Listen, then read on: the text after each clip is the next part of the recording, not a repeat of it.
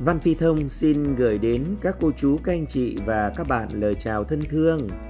Cả nhà thân mến, hôm nay Thông mời cả nhà cùng với Thông chúng ta cùng nhau đi dạo một vòng để xem cái khu triển lãm Expo 2023 tại Doha và triển lãm quốc tế Expo 2023 của Doha diễn ra tại thủ đô Doha, Qatar. Và đánh dấu lần đầu tiên sau hơn 50 năm sự kiện được tổ chức tại một đất nước có khí hậu sa mạc. Với chủ đề Sa mạc xanh, môi trường tốt hơn, sự kiện về nghề làm vườn kéo dài 6 tháng này giới thiệu những giải pháp sáng tạo và bền vững trong điều kiện sa mạc hóa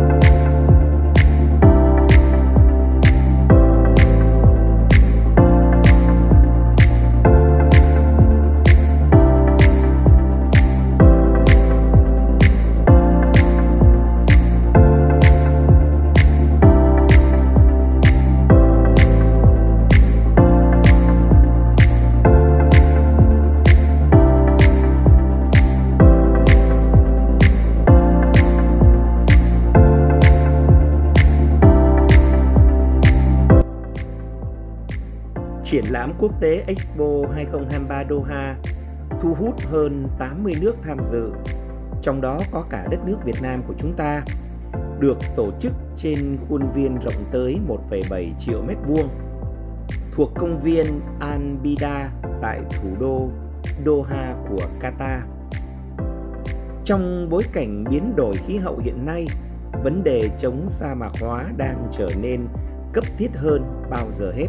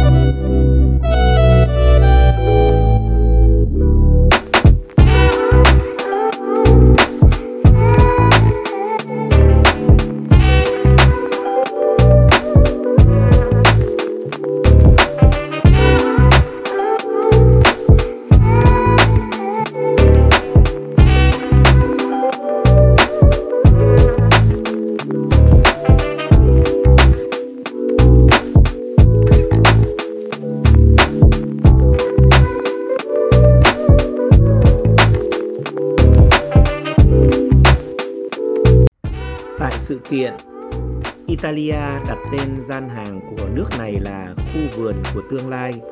Đến đây, khách tham quan có thể tìm hiểu về phương pháp trồng rau thủy canh, không cần tới đất.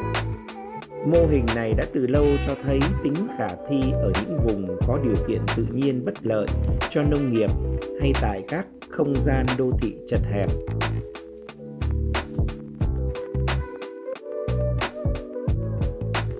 Ngoài ra, giải pháp trồng trọt nhà kính được giới thiệu phổ biến ở nhiều gian hàng tại triển lãm Quốc tế Expo 2023 tại Doha.